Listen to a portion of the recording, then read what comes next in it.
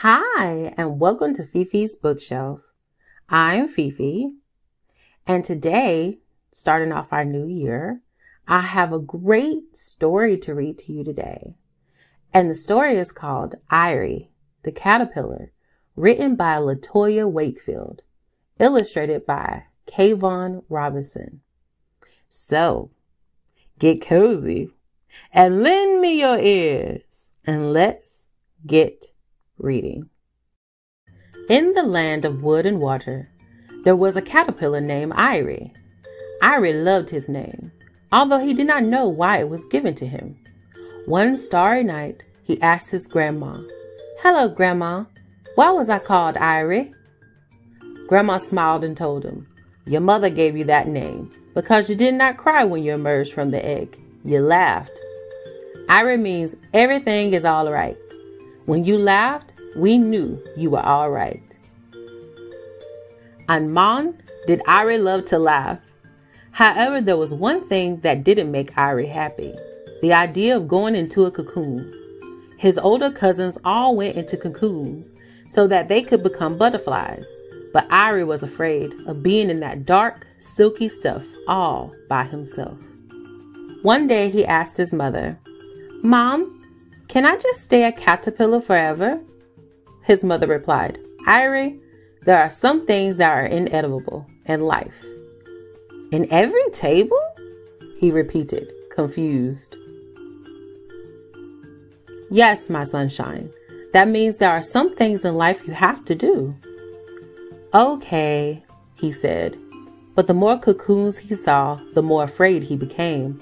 Next day, as he was crawling across the warm soil, someone called his name from above. Irie! Irie! The voice sounds so familiar, Irie thought. He looked up and saw a butterfly, breathtaking and beautiful in the sun's glory.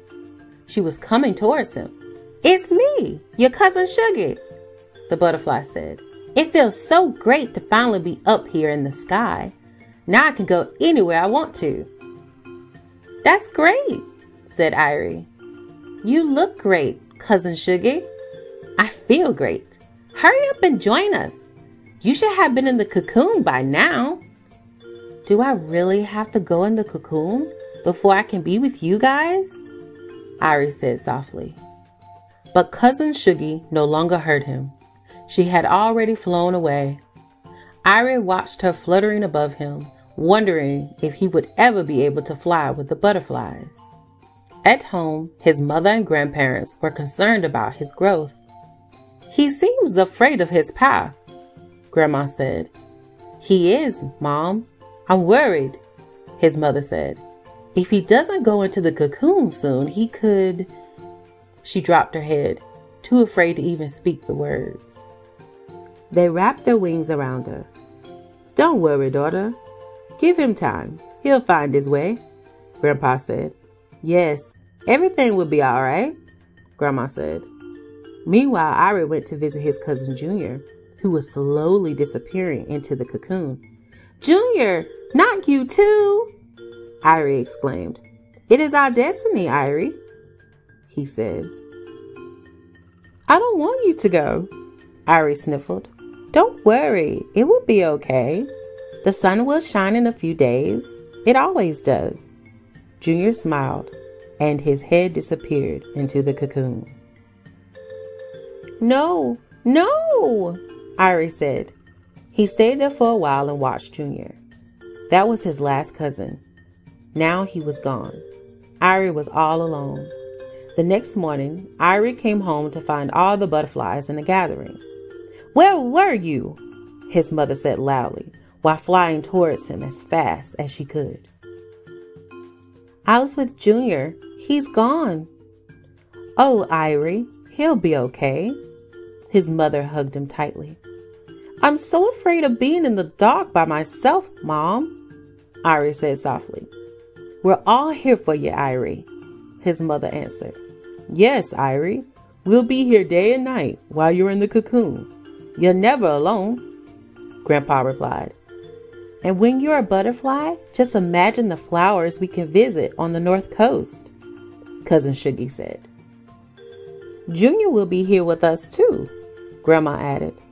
I know you are afraid of being by yourself in the cocoon, my sunshine, but it's only for a little while. When you come out, you'll get to fly with us, his mother said. We are here for you, Irie, Grandma said. Irie felt it. The time was right. I'm ready, Mom, he said with a big bright smile. I can do it. I'm still afraid of being there all by myself, but as long as I have you all, everything will be all right. Irie found a great spot on a tree and lay there as he changed. Soon he was completely covered by his cocoon. For days and nights, his family watched and waited. Finally, the cocoon broke, and a few seconds later, Irie emerged, laughing as he always did. He was the most beautiful butterfly. There's that laugh again, Grandpa said, the sweetest sound that ever befell our ears.